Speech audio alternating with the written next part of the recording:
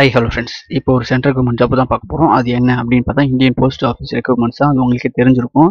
அது எங்கே லொக்கேஷன் அப்படின்னு பார்த்தா ஹைதராபாத்தில் தான் லொக்கேஷனு அவங்க நிறைய வேகன்சி தேவை அப்படின்ற மாதிரி சொல்லியிருக்காங்க. அதில் தான் போஸ்டிங்கு எலக்ட்ரிஷியன் அப்புறம் பெயிண்டர் இது மாதிரி தேவை அப்படின்ற மாதிரி சொல்லியிருக்காங்க. இதுக்கான education qualify minimum eighth pass பண்ணியிருந்தால் போதும் அப்படின்ற மாதிரி இதுக்கு எலிஜிபிள் அப்படின்னு சொல்லியிருக்காங்க.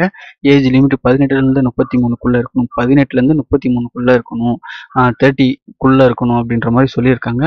உங்களுக்கான சேலரி மினிமம் எயிட் தௌசண்ட்லேருந்து டுவெண்ட்டி தௌசண்ட் வரைக்கும் ஃபிக்ஸ் பண்ணி வச்சுருக்காங்க. அதனால் நீங்கள் சேலரி பற்றி கவலைப்படணும்னா உங்களுக்கான இது கன்ஃபார்மாக கிடைக்கும். செலெக்ஷன் ப்ராசஸ் பார்த்தோன்னா இன்டர்வியூ மட்டும்தான். அப்புறம் உங்களுக்கு டெஸ்ட் பார்ப்பாங்க. அப்படின்னா அதுக்கான எலிஜிபிள் இருக்கா? அவங்க சொன்னாங்களே போஸ்டிங் எலக்ட்ரிஷியன் அப்புறம் பெயிண்டர்ஸ் இதுக்கான எலிஜிபிள் இருக்கா? அப்படின்னு செக் பண்ணிவிட்டு அதுக்கப்புறம் பேசி உங்களை பற்றி ஒரு இன்டர்வியூ நடக்கும். இதுதான் வேறு எதுவுமே கிடையாது ஃப்ரெண்ட்ஸ் அது இதுக்கு எப்படி அப்ளை பண்ணணும் அப்படின்றதையும் நான் டிஸ்கிரிப்ஷனில் கொடுக்குறேன். போஸ்ட் பண்ண வேண்டிய அட்ரஸும் நான் டிஸ்கிரிப்ஷனில் கொடுக்குறேன். அதோட அஃபீஷியல் நோட்டிஃபிகேஷனும் அப்ளிகேஷன் ஃபார்மும் நான் டிஸ்கிரிப்ஷனில் கொடுத்துட்றேன்.